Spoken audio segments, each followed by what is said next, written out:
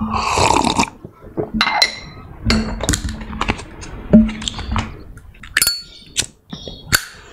kita mulai, jangan lupa tekan tombol like. Terima kasih banyak. Halo, selamat datang di channel Blog Tips. Hari ini gua mau review produk dari Humaira Pro. Text to speech dalam bahasa Indonesia. Selama ini kan kita biasanya itu kalau pengen text to speech tuh menggunakan AI juga sih, tapi itu adalah produk luar ya. Kalau untuk produk luar itu kan kadang-kadang intonasi dalam bahasa Indonesia-nya tuh agak lucu gitu, kedengarannya sama seperti Google lah. Iya enaknya YouTube tuh kita kontennya uh, untuk bagian teksnya itu kan nggak diuber-uber dengan copyright ya. Yang diuber-uber copyright itu biasanya kan film atau video ataupun suara, musik lah kayak gitu. Nah tapi kalau yang untuk teksnya kan enggak. Jadi aman-aman aja. Ini anggaplah misalnya gue punya channel apa punya blog tentang tips-tips kecantikan gitu kan. 10 tips membuat muka glowing. Itu kalau kita masukin ke sini dibikinin text to speech itu kan bisa jadi sebuah konten. Sementara untuk videonya kan kita bisa menggunakan slide. Misalnya untuk memutihkan muka kita bisa menggunakan ya, perasan jeruk lemon lu cukup tinggal masukin slide jeruk lemon Ya kan. Selain itu ini juga bisa di ini juga bisa ente gunakan untuk ya memproduksi video-video TikTok, Facebook Reel, YouTube Short. Tanpa banyak bahasa basi, kita langsung aja praktekin. Gue misalnya gue tuh suka agak-agak suka dengan histori ya, dengan sejarah. Gue misalnya pengen ini nih deh. Gue pengen ngambil ini gue gue ngambil bahannya dari Wikipedia ya musibah Heidenberg. Nah ini gue nggak perlu nggak perlu pakai chat GPT, gue nggak perlu nggak perlu gue rewrite, gue tinggal copy aja. Terus gue masukin ke Humaira, jadi video. Atau misalnya ah gue nggak suka nggak terlalu suka dengan sejarah, gue kan bisa misalnya tips memutihkan wajah misalnya. Kan tinggal gue ambil aja bahan dari sini. Kayak gini kan Nah, kalau kita mau ngambil bahan kayak begini, pastikan dalam penggunaan bahasanya itu tertata dengan baik. Makanya kenapa gua ngambil ngambil Wikipedia biasanya karena untuk penggunaan bahasa dia lebih EYD ya. Maksudnya lebih lebih baku bahasanya lebih benar sesuai dengan kaidah bahasa Indonesia. Kalau kita ngambil dari blog-blog lu harus baca dulu nih.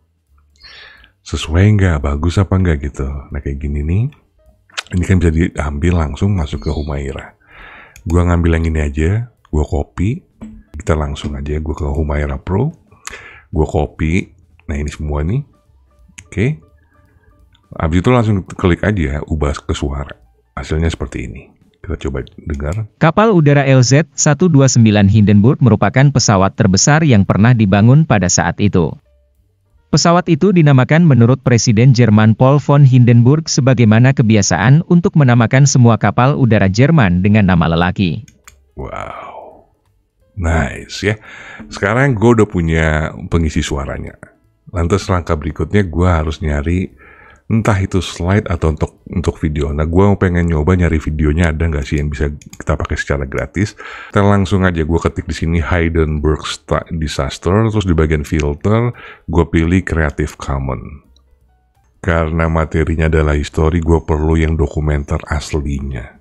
Nah, sebelum lu download, diperhatikan durasi dari text to speech yang kita buat. Ini durasinya 2 menit 24 detik. Kita cari yang sedekat ini aja deh, atau yang agak lebih sedikit nggak apa-apa kita cari. Gue misalnya di sini cari yang dua menitan berarti ya. Ini 5 menit, ini dua menit. Nah ini misalnya kayak gini deh. Bisa lo lihat di sini nggak ada nggak ada apa itu nggak ada logo dan segala macam bersih. Dan ini adalah dokumenter asli. Nah ini gue pengen ambil. Oke, langsung aja kita download, ambil ke sini, klik linknya, masuk ke save saya from.net, masukkan, tinggal lu unduh. Oke, okay? kalau sudah diunduh terus mau ngapain lagi? Nah gue untuk ngedit-ngedit tuh paling enak, ini tergantung ya dari kekuatan internet lu, gue tuh nggak mau capek-capek, gue pakai capcut aja. Karena di Capcut itu kita bisa langsung bikin video untuk TikTok, TikTok Ads, YouTube Ads, lu bisa langsung juga bikin untuk uh, bikin video YouTube juga bisa dan ini sudah lengkap dengan segala macam efeknya. Ini tinggal gue upload videonya dan gue upload suara yang kita bikin di Humaira tadi. Text to speednya ada di sini. Oke, kita coba ya. Kita coba nih. Nah, kenapa gue pilih capcut ini juga karena di bagian audionya kita itu bisa merubah ya. Merubah audionya coba kita dengerin dulu. Kapal udara LZ. Nah, di bagian bawah ini nih, ini gue tanpa efek dulu ya. Kita coba dengerin. 229 Hindenburg merupakan pesawat terbesar yang pernah dibangun pada saat itu. Pesawat dengerin. itu dinamakan menurut Presiden Jerman Paul Nah, kalau kita menggunakan yang namanya text text to speech, ini kemungkinan kita suaranya akan sama dengan video-video para pengguna Humaira yang lainnya kan. Makanya kenapa gue pilih Capcut karena di sini adalah ada voice effectnya. Kayak lu bisa pilih misalnya mega megapon, coba kita dengerin.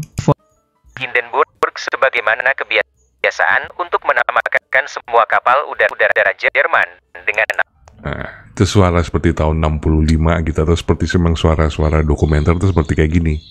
Voice-nya itu seperti menggunakan megapon. Ah, gue nggak suka, lu bisa pakai Lofi gitu. Misalnya kayak Lagi.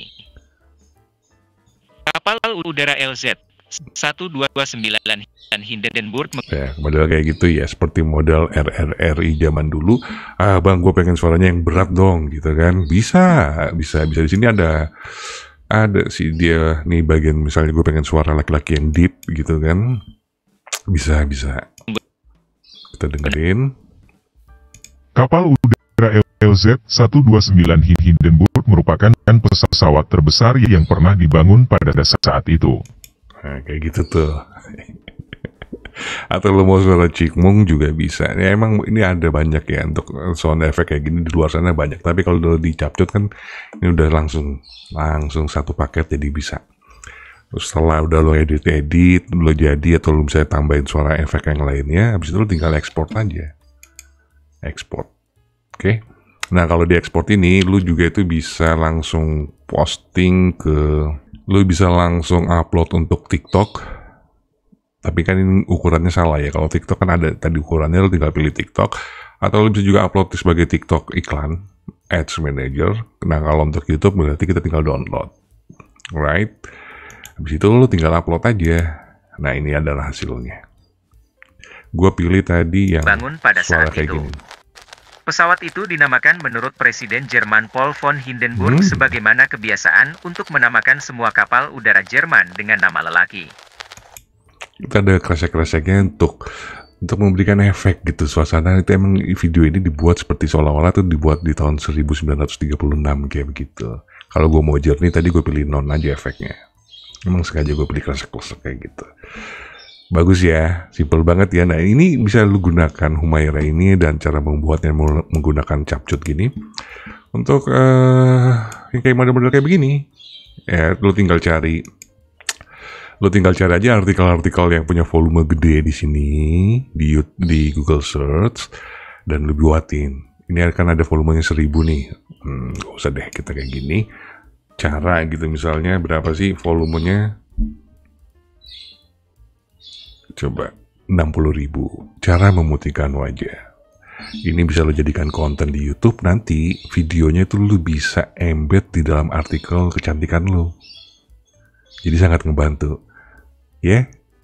mudah ya. Nah untuk link menuju ke Humaira itu emang ada, itu emang linknya link affiliate ya. Gue taruh di dalam deskripsi. Kalau lo emang mau menggunakan link affiliate dari gue, lo pakai aja. Tapi kalau lo keberatan untuk menggunakan link affiliate dari gue, lo bisa langsung ke Humaira humairapro.pakarbot.com. Jadi itu tanpa affiliate. Oke, kalau begitu gue cukupin materi gue sampai sini. Nanti kita ketemu di materi-materi gue berikutnya. Masih bersama gue Indra Kusuma. Peace out.